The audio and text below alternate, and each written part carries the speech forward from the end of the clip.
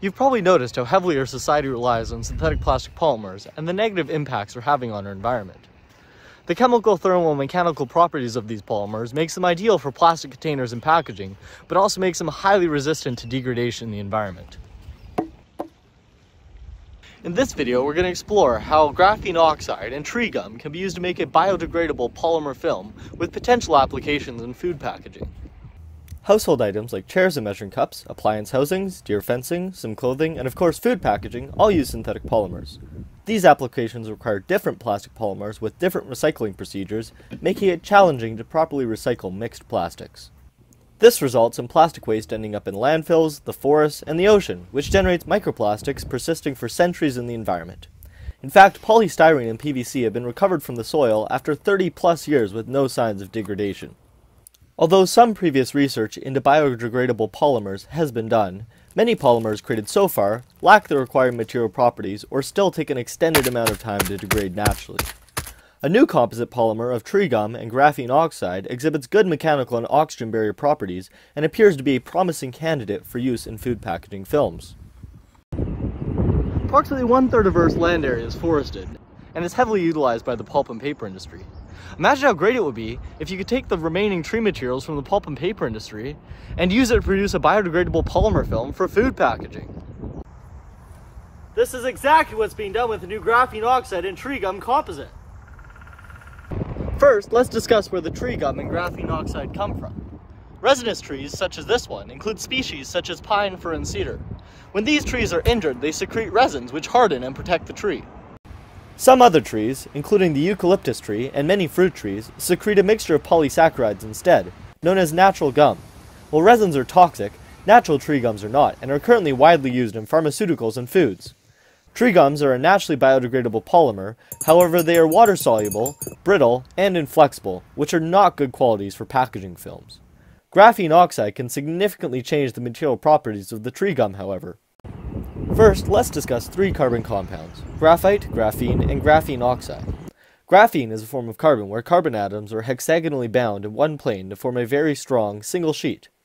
In fact, graphene is the strongest material ever tested.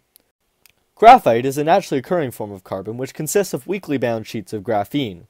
Graphene oxide is structurally very similar to the very strong graphene, but has oxygen and OH functional groups to make it hydrophilic and easily dispersible in aqueous solution. Graphite is mostly produced through mining, but a new method is being developed to convert tree lignin into graphite. Lignin is a natural polymer that helps give trees their structure, and during paper production, lignin is often removed and burned for energy as does fuel applications. Instead of burning the lignin, it could be used to produce graphite by pyrolyzing it at 1000 degrees Celsius and then heating it to 2000 degrees Celsius under a hydrogen and argon atmosphere. To produce graphene oxide, graphite must be oxidized and exfoliated to produce single sheets. This is done by adding graphite to a strongly oxidizing solution of sodium nitrate, potassium permanganate, and sulfuric acid and blasting it with ultrasonic waves.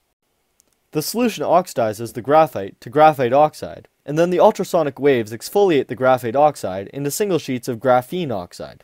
The graphene oxide is then washed to remove the oxidizing chemicals.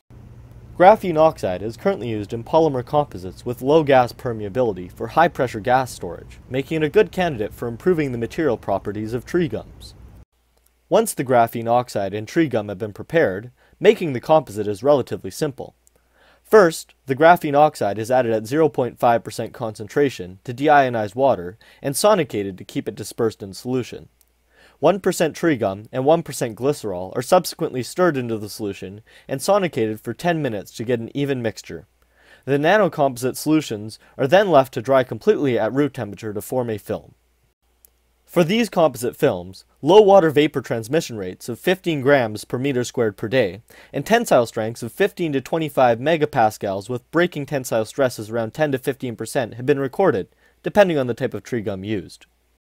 The glycerol makes the films flexible, and the graphene oxide reduces the water solubility, increases mechanical strength, and gives excellent gas barrier properties comparable to other current packaging materials. The hydrogen bonding between the tree gum and graphene oxide also increases the thermal stability of the film, allowing it to be stable up to around 150 degrees Celsius, even after 3 months of storage. Additionally, graphene oxide absorbs UV radiation and reduces degradation from sunlight. All of these properties exceed the results of other comparable biodegradable films and exhibit how tree gum based films could be used to replace some plastic packaging. With around 380 million metric tons of plastic produced annually, transitioning to biodegradable plastic films like the tree gum graphene oxide composite film will significantly reduce microplastic pollution. By sustainably harvesting tree gum and making graphene oxide from extra lignin from pulp and paper production, these new polymer food films can reduce plastic pollution and consumption. Imagine how great it would be if plastic packaging was compostable and didn't have to be recycled. Because these polymers are still in the early research stage, there is no economic analysis on the cost of production, however there are likely a few hurdles to overcome. Firstly, producing graphite through pyrolysis of lignin is very energy intensive and may not be economically viable when compared to traditional mining methods. Secondly, many gum trees only hit optimal production after about 10 years or so, which puts a delay on how quickly tree gum production can be scaled up. To recap, we examined how a biopolymer composite film can be generated from naturally derived graphene oxide and natural tree gum. The biopolymer exhibits ideal material properties for food packaging applications and easily degrades in the environment after a couple of months. Although this film experiences some barriers before upscaling production, it exhibits how biopolymers can be used to reduce plastic pollution in the near future.